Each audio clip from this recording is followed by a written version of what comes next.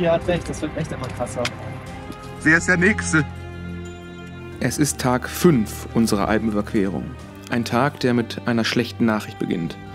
Plattgemacht vom bekanntesten Virus der vergangenen zwei Jahre, muss Hannah die Tour an diesem Morgen abbrechen. Wir starten also zu viert und mit einem komischen Gefühl in den Tag. Zunächst rund 270 Meter hinauf auf fast 3000 Meter über Seehöhe, dann wieder 350 Meter hinunter über ein kleines Schneefeld.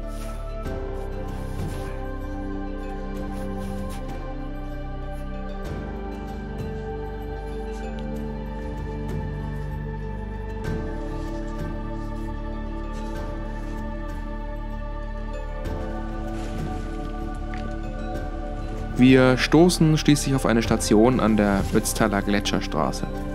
Dort steigen wir in einen Bus, mit dem wir für ein paar Kilometer fahren. Auch Hannas Mann David verlässt uns nun. Wir sind jetzt also nur noch zu dritt. Für Pia, Paddy und mich lautet nun die einzige, aber eiserne Mission an diesem Tag. Heile ankommen an der Martin-Busch-Hütte. Da waren es nur noch drei. Vom Punkt, wo wir aus dem Bus ausgestiegen sind, geht es für uns nun über eine Distanz von 8 Kilometern bis nach Boddeneck bei Sölden. Zunächst durch den Wald, später auf einer Teerstraße, dann wieder durch den Wald. Das Gelände ist weitestgehend unschwer zu passieren. Nur ist es teils heute etwas rutschig, denn das Wetter hat es nicht so mit uns. Wir werden begleitet von Schauern, mal stärker, mal weniger stark. Da heißt es für uns also wieder Poncho überziehen und weiter marschieren. Kurze Ansage, Nils. Wie ist die Lage? Wir haben zwei Leute verloren und es regnet. Gut, reicht dann auch.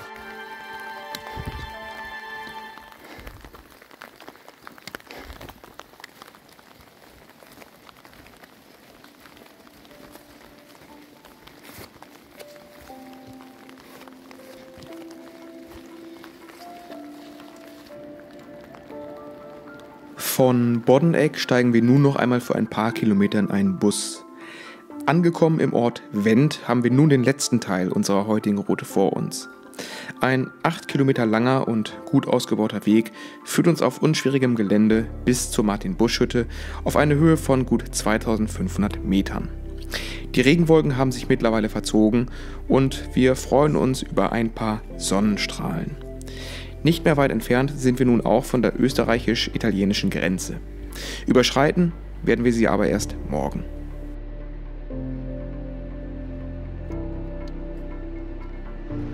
Biobasisöl. Mit Biobasisöl verdünnt? Von Seitenbacher? Was ist das Statement, Nils? Äh, wir essen jetzt Magnesium, weil es noch da ist. Und wir nichts anderes mehr Wir haben. nichts anderes mehr haben und wir haben Hunger. Nee, Spaß. Aber ich habe hier, Alter, ich habe hier noch ein Energy Cake, Schoko-Banane. Heftig. Na, passt zum Kaffee trinken. Oder? Haben wir Kaffee? Schlecht. Hier, warte. Ja? Bio, auf Bio-Basis. Gold. Shot. Oh Junge, das ist echt ein Shot.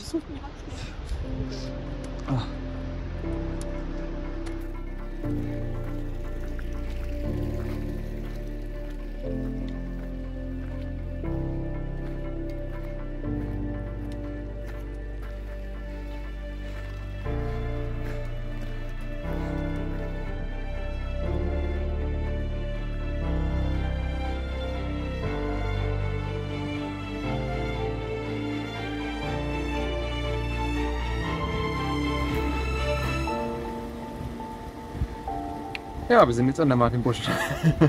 wir sind an der Martin Busch wieder angekommen. 2501 Meter über Seeebene. Und ja, im Hintergrund die Berge natürlich und viel Weg, den wir hier gerade hochgegangen sind, aber es war ein entspannter Weg, breiter Weg, äh, keine Kraxelei, sondern ja, ist quasi mehr oder weniger so eine Schotterstraße, ne? Mhm. anders als sonst. Mhm. Schauen wir mal rein. Mhm. Wir werden uns anmelden mit unseren. Äh, ja, wir sind jetzt ja nur noch zu dritt, also müssen wir fragen, wie es läuft, wenn wir zwei Leute jetzt weniger sind. Genau.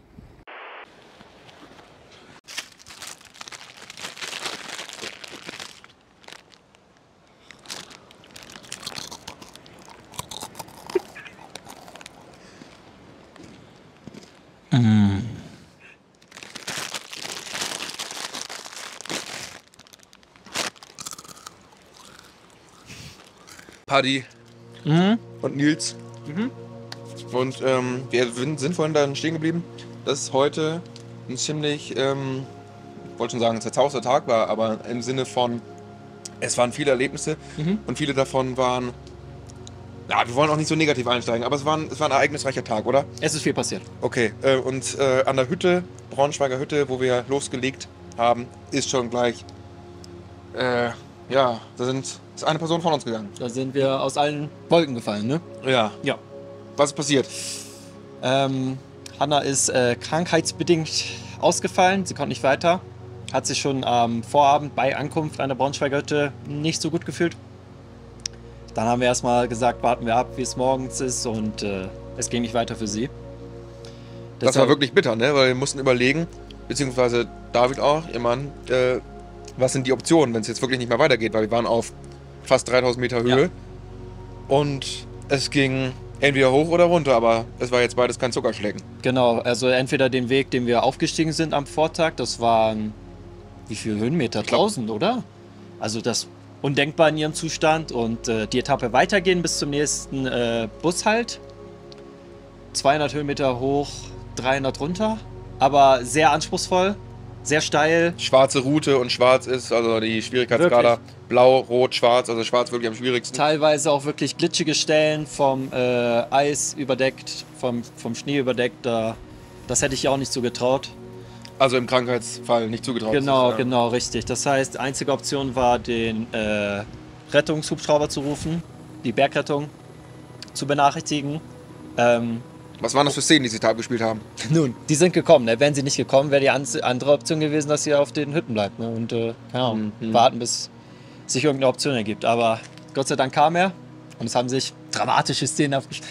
Nein, also der Hubschrauber kam, die kamen in voller Montur raus. Ähm, Hanna ist eingestiegen. Ähm, ihr Mann, David, durfte nicht mitkommen und äh, musste ergo mit uns weiterreisen. Also erstmal über den Berg rauf, dann wieder runter. Genau, also hieß es Abschied nehmen von der ersten Person aus unserer Gruppe. Da, von Hanna. Aber mittlerweile gute Neuigkeiten, geht sie wieder gut. ja, das, äh, darüber freuen wir uns zumindest, dass es ihr gesundheitlich besser geht. Wir waren zu viert übrig, dann haben wir einen Aufstieg gemacht, äh, muss ich schon sagen. Höhe teilweise, also es waren schon ausgesetzte Stellen, das heißt Stellen, ähm, ja, wo dann halt links, äh, da ging es bergab, äh, ziemlich weit runter und war schon äh, schwummriges Gefühl teilweise, das ich da so hatte. Und ähm, dann waren wir oben auf dem Berg ungefähr bei fast 3000, bei 2990 Höhenmetern. Also nochmal, ich glaube, über 200 Meter über der Braunschweiger Hütte, wo wir übernachtet haben, sind dann von dort runter und teilweise über Eis. Und ähm, ja, dann Ja. ist äh, auch noch ein folgenreiches Ereignis passiert, was er sich bei der Party niedergeschlagen hat. Das waren auch wirklich hier dramatische Szenen, die sie haben. Dramatische Szenen. Ja, wirklich ein Tag, der äh, sehr ereignisreich war. Sehr viel äh, Unvorhergesehenes ist passiert.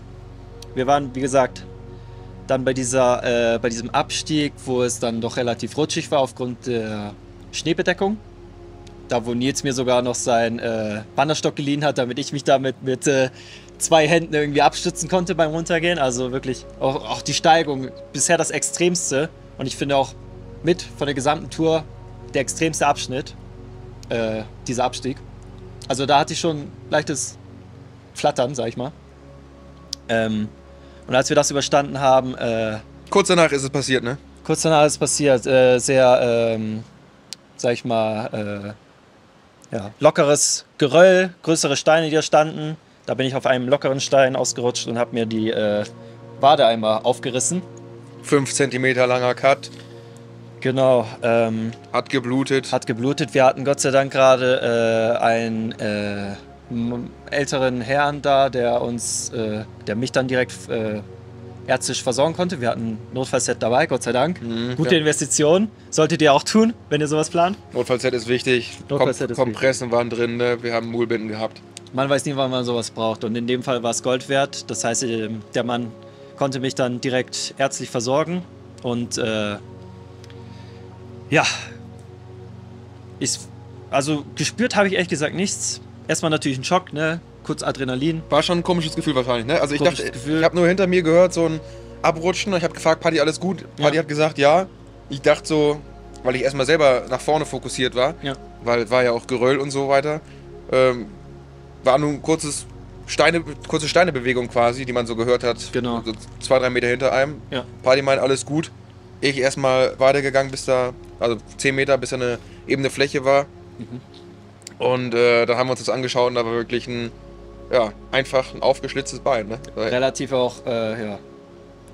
Sag ich, nicht, nicht, so oberflächlich, wie man sonst von so Schürfwunden kennt. Schon etwas tieferer Schnitt, aber auch nicht ganz so tief und deswegen äh, Kompresse drauf. Vorher noch Natu- mal schön- Desinfiziert, natürlich. Ja. Ja. natürlich. Äh, Kompresse drauf und dann mit Mullbinde umgebindet, festgeklebt und äh, ja, den haben wir jetzt äh, gerade äh, nochmal neu verbunden.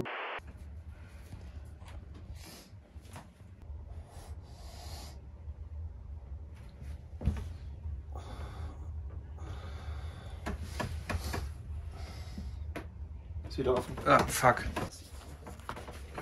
Ja, wir haben jetzt den Verband gewechselt. Wunde ist wieder aufgegangen, weil die Kompresse da geklebt hat. Haben nochmal desinfiziert. Neue Kompresse, einmal Mullbinde drum und jetzt Müllbeutel, Für duschen, damit dran vorbeiläuft. Ne? auf Ja. der Hütte. Alles soweit äh, in Ordnung, würde ich sagen. Also Ja. Essen ist gut, Duschen gibt's. 3 Euro, 3 Minuten, warm duschen. Ist auch nicht bei jeder Hütte so selbstverständlich gewesen. Bei der Kempner gab es ja gar keine Dusche. Ja, das stimmt. Ähm, ja, hier eben noch mit einer anderen Wanderstruppe ein bisschen Karten gespielt.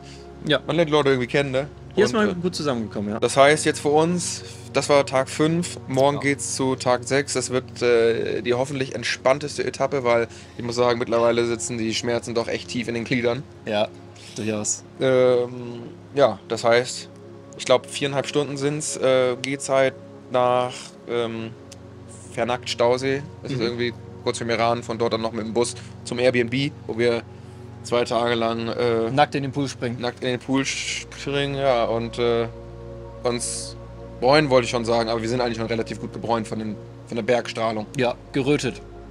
Ja, von Mhm. daher äh, auf eine entspannte Zeit einfach im Iran, ne?